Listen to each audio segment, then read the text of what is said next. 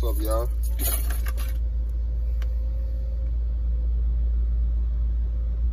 Hey, man, I just want to give you guys a overview of how it's been having this car, this K900 for 21, 22, 23, 24, for three years.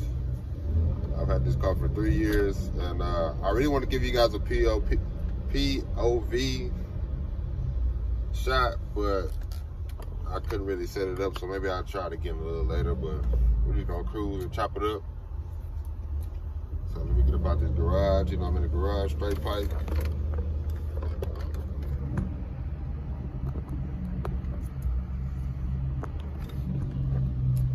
Yeah. So I just have to hold it like this.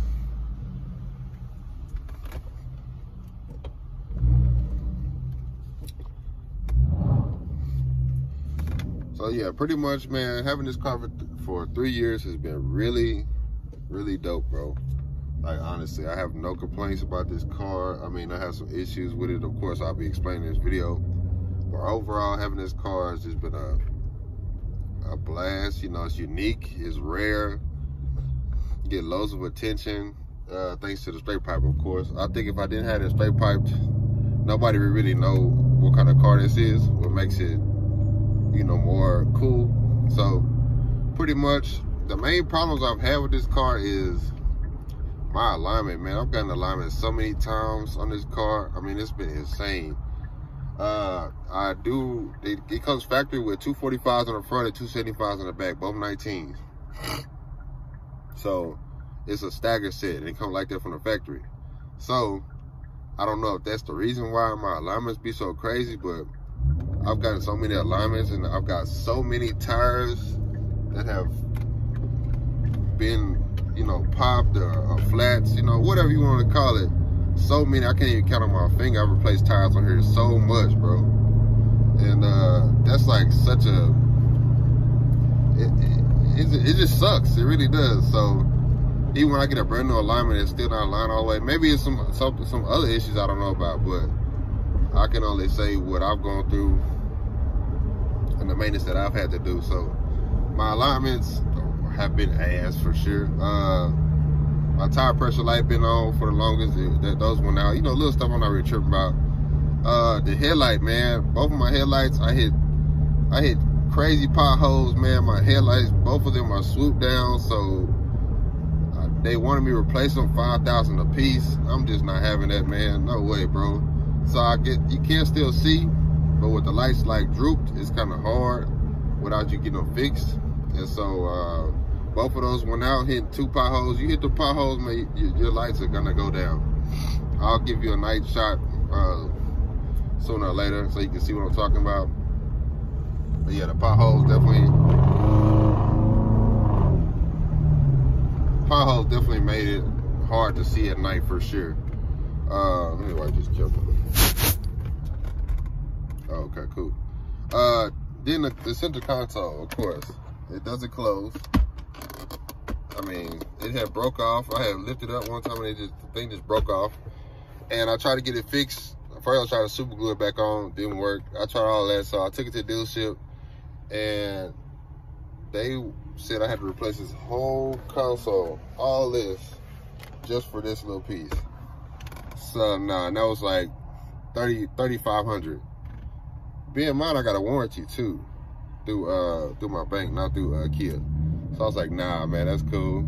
Uh, next thing, uh, my heated and cool seats went out on the driver's side. I guess I overused them. Maybe just the fuse needs to be replaced, but I haven't replaced them. Uh, AC been out for a long time. I got it fixed multiple times and it still keeps going out. I don't know what's up with the AC. So the AC doesn't work at all. So that's why I ride with the sunroof open all the time. Uh, I'm trying to think what else, is there any issues wise? Uh, oh, now every time I start the car, all my settings like reset, man. Like my chair reset, my wheel, my steering wheel reset, the radio reset, my curtain back there reset I don't know. It, it's just weird. I don't know. Like I said, maybe these are problems that I could get fixed. You know, if I just maybe replace the battery or something. I don't know. Uh, I haven't really checked. This is just, you know, kind of stuff that I live with. I don't really drive the car all the time because I work from home now.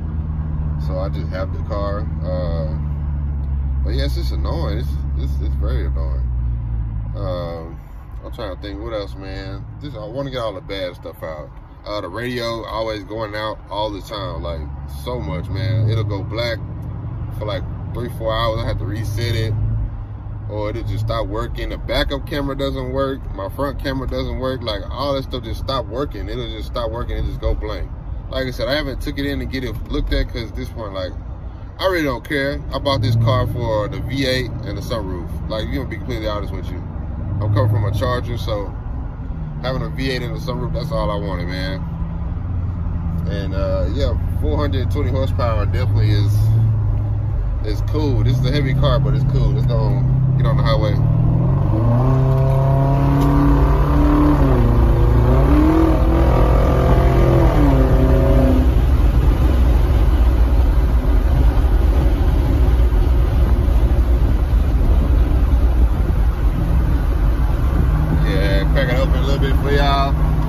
No drone either. No drone at all. This straight pipe, no, no mufflers, no resonators. But I still got my catch though.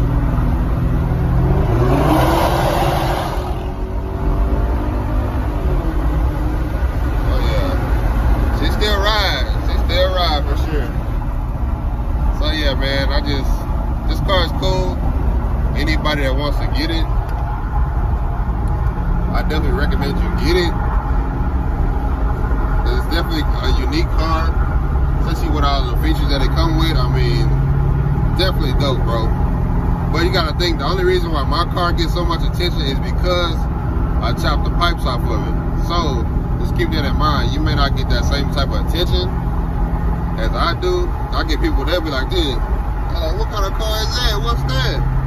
Dang, I ain't no Kia made a V8. Like, yeah, you'll get different type of, uh, comments like that. And like I said, that's only because I did straight piping. So, which is why most of y'all are here, because y'all like, damn, I didn't know they made a straight pipe Kia, or Kia with a V8, 420 horsepower to be exact. So, it's always uh, interesting to see that. And uh, yeah, it'll, it'll, it'll definitely turn turn heads for sure.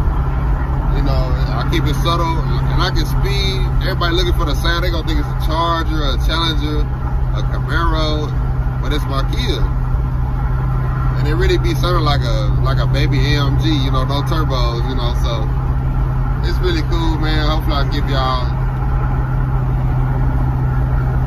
a front view, of POV at nighttime or something so y'all can see how this thing really gets going. And yeah, I really just wanted to tell you guys how it was having this car, you know, going through the little maintenance or whatever. Like I said, maintenance ain't too bad. I really do oil changes and tires.